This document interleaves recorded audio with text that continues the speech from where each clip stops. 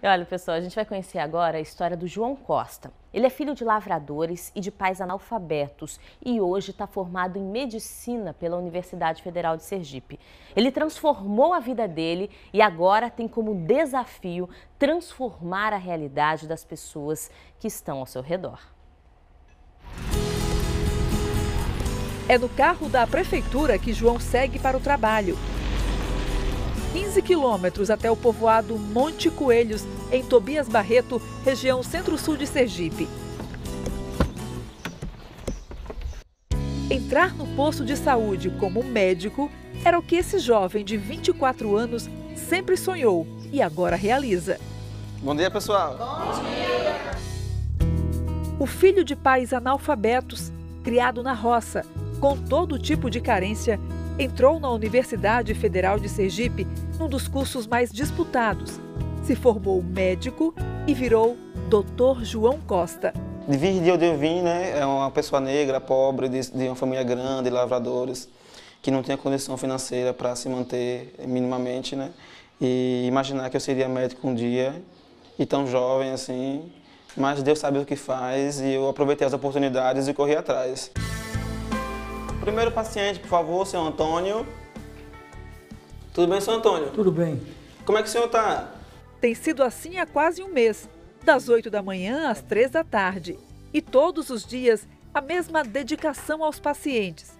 Em média, são 26 por dia. Primeiro dia fiquei, não, o médico entrou no coração de todo mundo. Achei ótimo bem. Antes do João, era um cubano do programa Mais Médicos que atendia aqui a comunidade. E todos, pacientes e funcionários, estavam apreensivos, desconfiados com a chegada do novo médico. Mas desde o primeiro dia de trabalho, o doutor João Costa virou o xodó do posto de saúde. É uma maravilha, ele está de parabéns, o nosso município está de parabéns, ter um médico tão dedicado quanto a gente tinha. E aí ver agora o doutor João Costa, assim, é, maravilhado, se dedicando à nossa comunidade, que isso é o que a gente precisa, não só o sucesso de ter um bom médico, mas de uma pessoa que se entrega à, à comunidade com simplicidade. Para os colegas, o novo médico foi uma grata surpresa. A população aceitou muito bem João, ele trabalha muito bem em equipe, que é fundamental na atenção básica, né? essa interação de equipe. E graças a Deus, estamos saindo muito bem. João fala a mesma língua de todos aqui. Conhece bem a realidade de quem vive em povoados e tanto precisa da atenção básica. Por isso mesmo, toda hora tem alguém expressando por ele muito carinho. Tenho certeza, por pouco tempo que o senhor está atendendo em nossa comunidade. Já, já ouvimos assim é, as pessoas comentarem da felicidade, do atendimento, porque estamos mesmo precisando de médicos que contem nossa história, que conheçam nossa história, que olhem no olho do, no, do nosso povo. Doutor João conta que a ficha ainda não caiu. A formatura, o trabalho que sempre quis, tudo é muito novo, intenso e reconfortante. Bate aquele, aquele nervosismo, né? É, população nova, posto novo, equipe nova, será que vão, vão gostar de mim? Será que vão me receber? Mas eu acho que eu estou conseguindo fazer o meu trabalho e atender a população dignamente, que é o que eles merecem, né? E esse doutor João que a gente vê agora quer fazer muito pela família, pelos pacientes.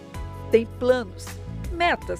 Eu quero me estabelecer aqui no povoado Monte Coelhos, que é de Tubias Barreto, e seguir em é, carreira no Mais Médicos e estudar para sempre me atualizar. E, se Deus quiser, quero ajudar minha família, melhorar minha casa, reformar minha casa, comprar um carro para ajudar no trabalho e fazer o meu melhor. Vestir o jaleco todo dia é meio que fosse um troféu, né? Lá, Dr. João Costa. É um troféu diário que eu vejo e eu agradeço a Deus todo dia por isso.